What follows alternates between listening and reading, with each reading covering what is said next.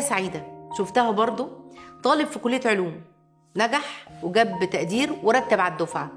وأخد قرار يعني تاني سنة أنا هسيب الجامعة. طبعا كتير جدا عمل كده. هسيب الجامعة. والتحق بكلية آداب لغة عربية. نجح وتفوق وطلع الأول. وتعين معيد. هو دلوقتي الآن أستاذ دكتور قسم اللغة العربية في جامعة من أعرق جامعات آه، الوطن العربي. له طبعا دواوين وله في الأدب طبعا وفي الشعر والبلاغة وله كتب ومعمولة باسمه. وسبحان الله هو خد قرار. قال لا ده مش مكاني. أنا أنا مش ده حلمي. ولا اللي أنتوا تقولوا إيه يعني أنا أخش طب ولا أخش علوم ولا لا لا لا لا لا. وقام جاي محول مساره خالص. القصة الثالثه برضو قصة حقيقية موجودة 2022 أعرف طالب فضل أبوه يدفع له بآلاف الدولارات. أنتوا عارفين الجامعات هنا بالدولار.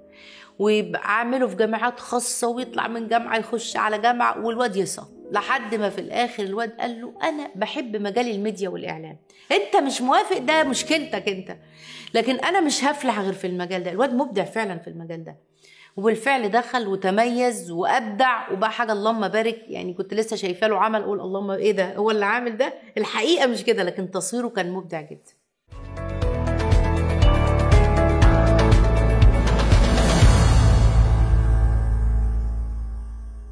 عايزين نقول إيه؟ آه.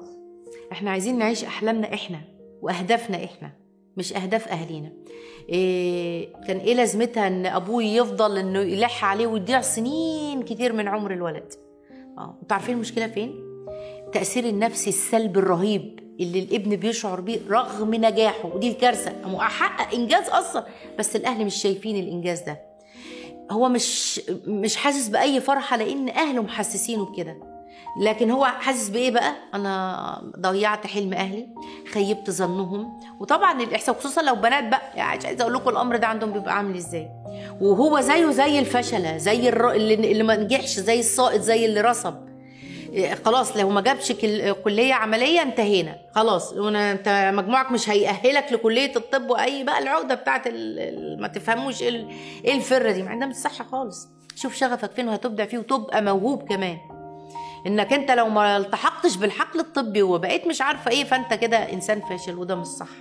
إيه وده طريقة بقى يقول لك إيه الأب لهم أنت ضيعت أملنا وضيعت حلمنا وضيعت وضيعت الكتير معظم العائلات بتفكر بالطريقة للأسف الطريقة دي.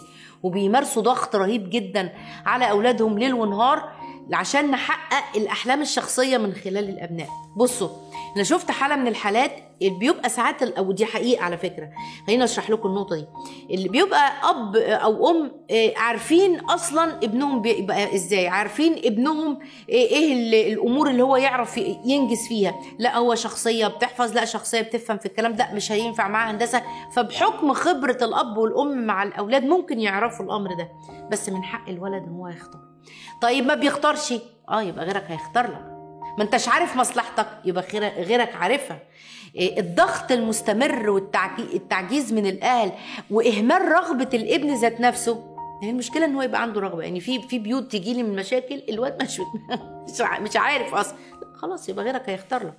أو إن يحس إن هو مكره على الدراسة أو مكره على حاجة هو مش بيحبها مش عارف يحقق أمنيته هو ده الغلط بعينه. على فكرة ممكن زي ما قلت لكم الأهل يكون فعلا فعلا هم ادرى بمصلحه الولد. وعارفين إيه إيه إيه ميوله إيه وطريقته إيه طالما هو مش قادر يحدد اتجاهاته لكن الأمر ده ما بيجيش بالإجبار ابدا. خلي عيالنا يكرهوا نفسهم لو أنت ضغطت عليه بحاجه زي كده. النقطة الثانية نقطة رفع سقف التوقعات. إنك كتير جدا ده رفع سقف التر... آه أنا ممكن أعمل طموح وزي ما إحنا اتكلمنا على الطموح ونعمل ها أنا عايز وعايز وعايز وعايز لكن ده سلاح ذو حدين. ساعات تساعدك في التحفيز لو انت خدت الخطوات الصحيحة ومشيت متزان نفسي مع نفسك وانك انت آه الآباء يحسوا أبنائهم على التفوق ده شيء جيد. لكن في الوقت نفسه ممكن تيجي بنتائج عكسية وتيجي بفشل وإحباط لو أنا رفعت سقف التوقعات بدون الواقع اللي موجود. ابني قدراته كده هو ده الوضع ده ده آخرهم. فما ينفعش إن أنت تضغط عليه. توقعات الآباء من وجهة نظر الأبناء بصوا لازم تكون إيه؟ لازم تكون داعمة. ومشجعة ومحفز له وواقعية في حدود قدراتهم من فضلكم واقعية. وتتفق مع الطموح والميول وهو عايز إيه. لكن إنها تتحول بقى إن هو لا لا لا لازم ولازم تعمل ولازم تعمل. ده بيبقى ضغط نفسي عليه.